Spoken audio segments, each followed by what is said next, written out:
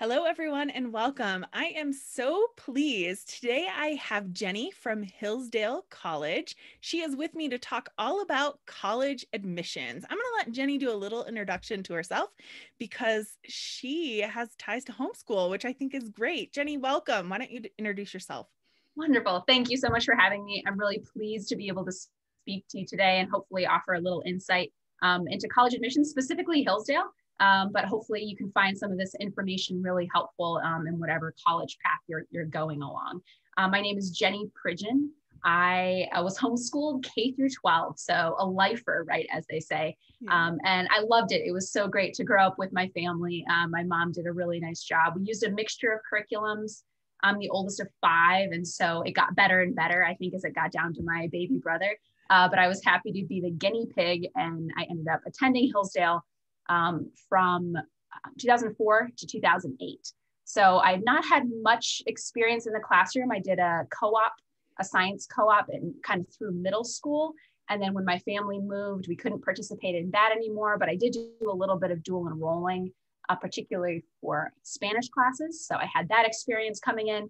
Um, and then I, uh, my time at Hillsdale, I was really involved in lots of things, but decided to also to major in political science with a minor in English. Um, and then after graduating, I wasn't exactly sure what to do. Um, but one of my good friends who I admired a lot was in this role. And she said, Oh, Jenny, you would really like admissions. So I thought, Oh man, if Lauren tells me I'd like admissions, I have to try. Uh, so I applied and I was thankfully offered a position. I recruited the middle 12 states for a long time, which, if you want to know which the middle 12 are, um, when we only had five counselors on staff. Um, and then in 2012, I moved to Denver, Colorado, and recruited the West for four years, which was really excellent. Um, but eventually, I wanted to get back to near my family. Um, and Hillsdale College offered me a position still within the admissions office, but now I'm a director of field recruitment. So I oversee now our 10 admissions counselors who recruit, recruit the country. Uh, so I, I do that as well as doing a bunch of other things, but then I also work with the dual enrolled students in Hillsdale County because Hillsdale College does offer that option. So I work with those students particularly. Very good. Let's start with talking a little bit about dual enrollment in general um, and what that means. I know we talked a little bit prior to this, and Hillsdale does offer dual enrollment, but yeah. not online. Yes, unfortunately. We're hoping to eventually, but there's no timeline on it. So keep checking our website if that's something that you're interested in.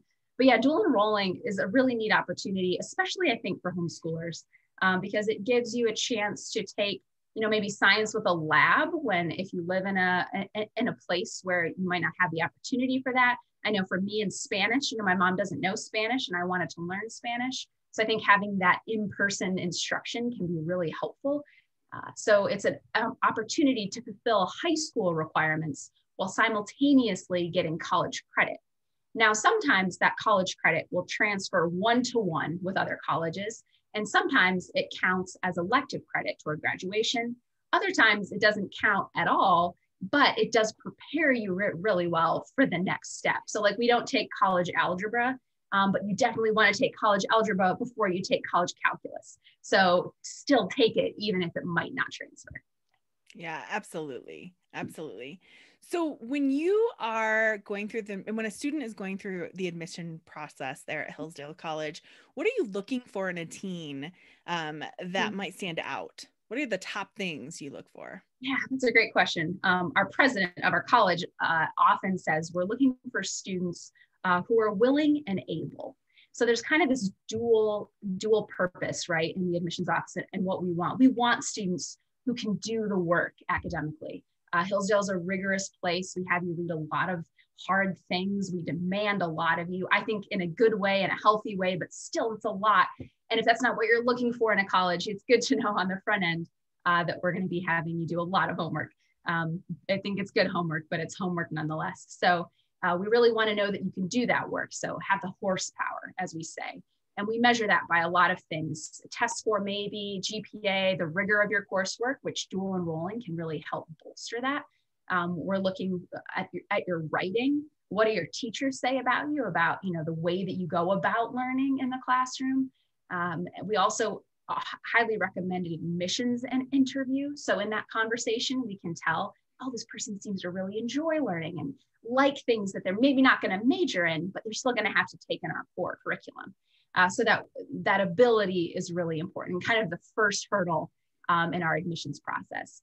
But as I like to say, you know, once you get over that hurdle, everything else becomes really important. So if we've asked that, answered that question well, can the student do this work here? And if the answer is yes, then everything else in their application um, becomes important too. So their resume, um, the things that their teachers say about them as far as their personality and character are concerned. Same thing with the interview. Um, so, will you get involved on campus? You seem like a nice person. Uh, do you like to talk about ideas, or do those things sort of shut you down? We want students who are going to be willing to participate in the community. Maybe your strength is more academic. Maybe you're good at academics, but your strength is serving the community or you know getting really involved in sports. And we love students who have these different strengths. We don't want everyone here to look the same, but you do have to have a certain level of kind of ability uh, to be successful. So I would say it's those those two things together. Absolutely. You kind of touched on the traits. Like, yeah. what traits would you say that you look for in a teen? And something you said really sparked uh, my thoughts because one of our things is you'll your student will love or your I forget what your you'll love to teach your student will love to learn and mm-hmm. you'll love to teach guaranteed. And so we do want to instill that lifelong love of learning. That's what we hope for with people who are using Sonlight. So mm-hmm. talk to me a little bit about those traits. I really enjoyed that one because that's one that we hold um, high value in. Oh, that's so cool. Yeah, I think we're looking for that and we express it in some different ways you know so sometimes we express it as humility right? Because if you come into a place and you think, oh, I know it all, then then what are you here for? You know, and if you're not willing to maybe go the extra mile, or I mean, just because you're success, successful, that doesn't mean that you can't be better. And so going to the writing center, even when your writing's okay, you know, talking to your professors, even if you kind of understand things, because you're here, you only have four years. Yeah. And you know, after this, you have to focus on other things. Not that you can't keep learning, but these are the four years you have to focus on it. And so, what are you going to do with these four years? So, I think this, like, you know, humility slash love to learning, this curiosity, this this passion and interest to see how things connect. I think those are traits we really like to see, and they come out in d- d- different ways, right? It's not always exactly the same thing for each student, but a sense of humility is is really important. But then you also need, you know, a little bit of confidence. You have to have an opinion, otherwise your mind can't be changed and not that we want to change your mind necessarily but right there has to be the option. You have to think something in order to be shifted one way or another or or to kind of come into your into your own and to you know make your foundation in something. So you have to have enough confidence to talk in class. You have to have a little bit of confidence so that you can say something and maybe be wrong and it won't destroy you for a week you know? And so i realized my senior year like oh i was trying to put up this facade of having it together. And that's not the point, you know. And I learned so much more my senior year because I, you know, said, Hey, I think it's this. And then I realized it wasn't, but that was okay. I put forth this thing.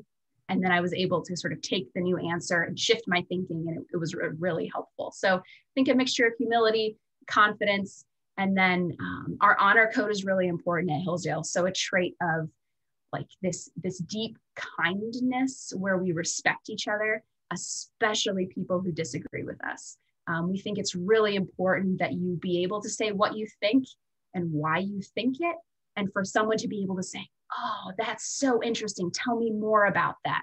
And if we're just always shutting each other down or assuming things about people, then that's really challenging. So I think a deep respect for people and their ideas is kind of the third thing that we look for. I love that. It's that's a great those are great traits. And I think um, especially for Sonlight i know a lot of a lot of kids you know we encourage those conversations we mm-hmm. we really do um, encourage that love of learning and we hope that everyone is very open-minded and opinionated at the same time which is a very fun you know so fun. way to be so um, let's talk a little about about homeschool teens specifically mm-hmm. what traits do you think they bring to the college experience mm-hmm. That's a great question. And so maybe I'm just thinking that I brought all this great stuff to Hillsdale, which I don't mean that, but um, I do think homeschoolers bring a lot of really good things to campus. Um, and this last fall, we had 18% of our incoming freshmen were, uh, were homeschooled. Um, that's what you know the system they graduated from. It's not to say that they were K through 12, but normally it's about 13%. So it's pretty significant. And I would say, particularly the things that I've been really impressed by would be um, an ability to be sort of like self-managed, you know, order your time in, in a way that's productive. I know my mom gave me my assignments by month. And so I could look ahead that month and I could work hard. The goal was to go be able to work with my dad, who's a general contractor. But um, this goal was like, you know, okay, this thing is set out and I can figure out how, how to get there and accomplish all these things. And if I work harder, then things are easier. And if I work ahead, then, you know, the end is lighter. And you know, college is a lot more like that than maybe like a public school where you have more day to day things. Not that you don't in homeschooling, but um, I think, you know, when you get your course syllabus at the beginning of a semester in college, sometimes it's, you know, two tests and two papers and your final. So that's all you're graded on sometimes. Sometimes it's participation, sometimes you have quizzes for sure, but like generally there are big things that are kind of, you know, just dispersed throughout the semester, not not lots of things that can all build up. So you you have to start your paper sooner. You you can't wait till the last minute. You have to study for your test and be engaged in things before you're being tested on them. And so uh, I think this ability to sort of learn to manage your time, to work ahead, to be self motivated, those are all really good things. Um, and I also think homeschooling gives some flexibility as far as getting involved in work and volunteerism and things like that. And I think that ability to balance all those things when they're not pushed into a certain amount of time, you have to decide when you can do things and when you can't.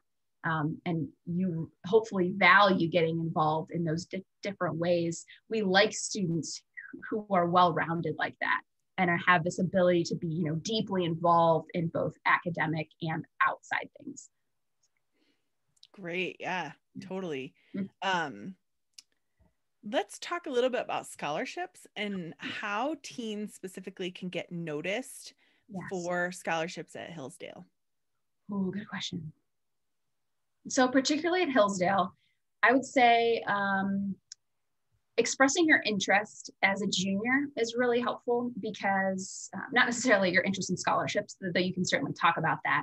But uh, about a third of our applications are stealth applications, which means the way that we learn about them is by them applying. We had no idea who they were before they applied.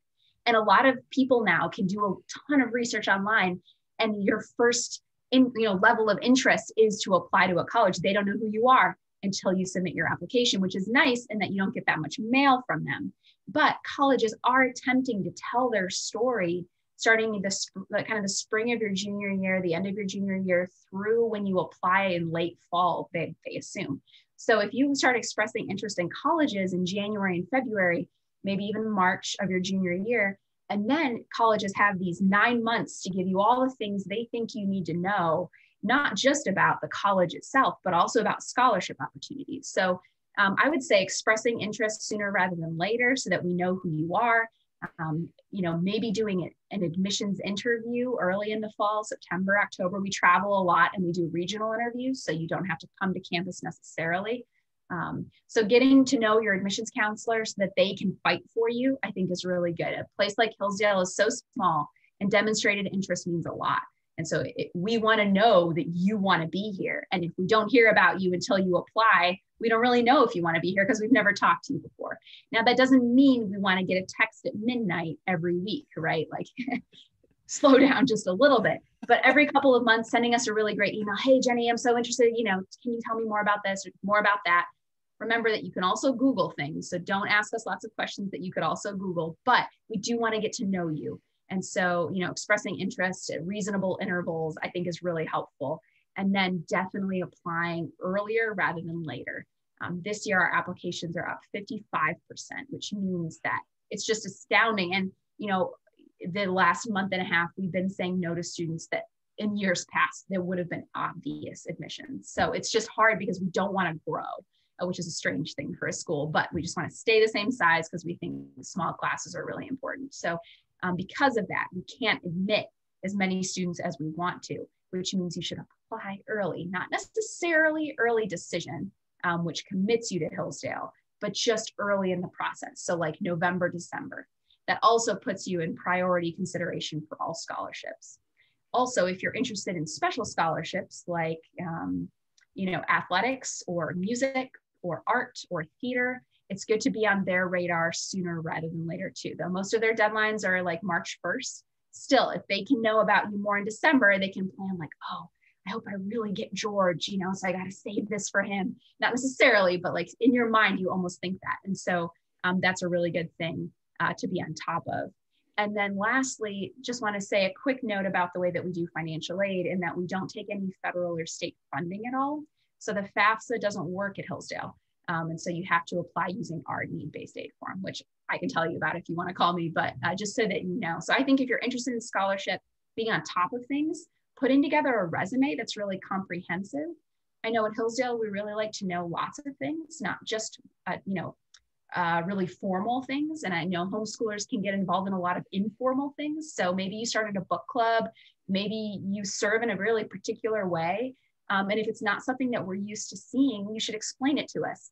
Not a page and a half, right? But like a few well chosen sentences that capture kind of what you're trying to do in this particular involvement is really helpful, right? We know what a Boy Scout does, so you don't need to describe that. But like, you know, if you started something that you think, oh, I wonder what if they'll know what this is, please tell us.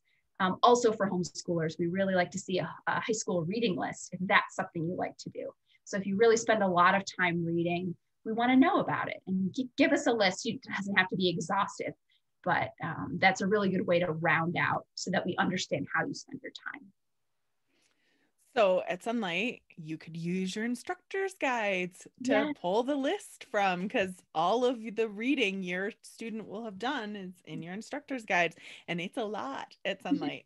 yeah, um, we're literature based, so it's yeah. it's a lot.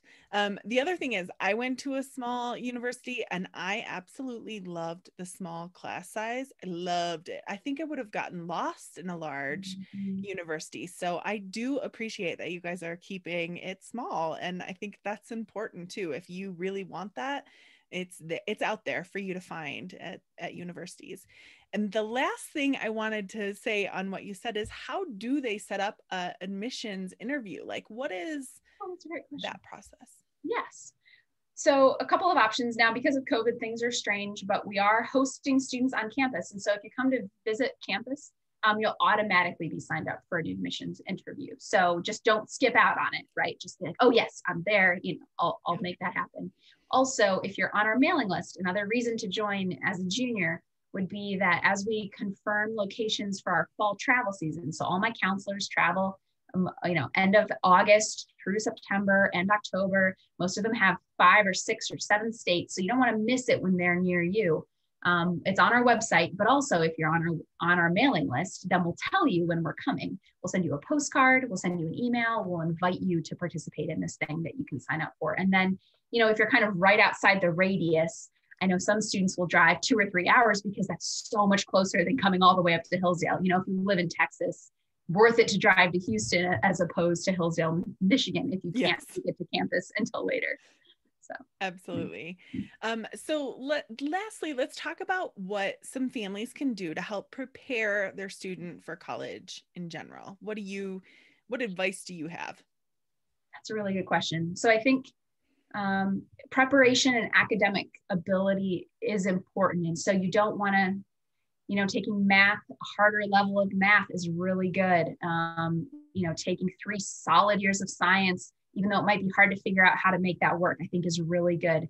At least two years of a consecutive foreign language, really helpful, makes you competitive.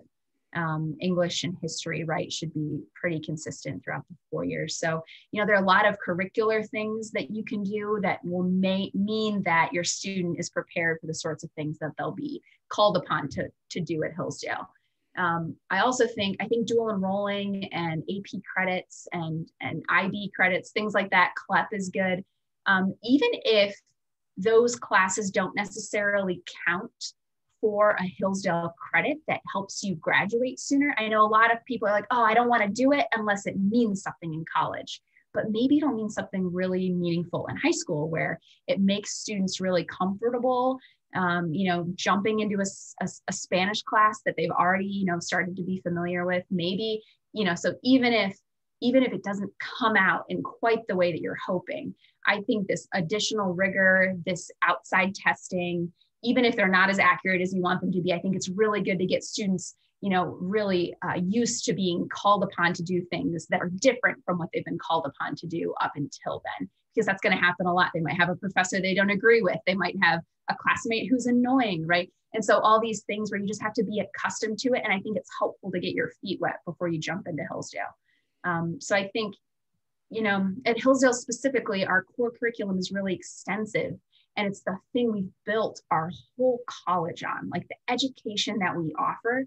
We think these classes are essential to that foundation.